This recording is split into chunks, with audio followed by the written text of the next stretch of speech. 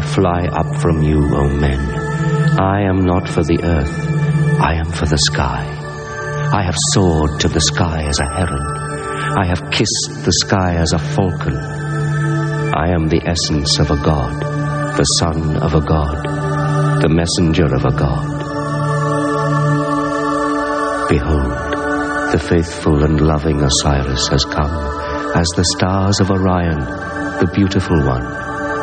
I have come that I may glorify Orion. My soul is a star of gold, and with him I will traverse the sky forever.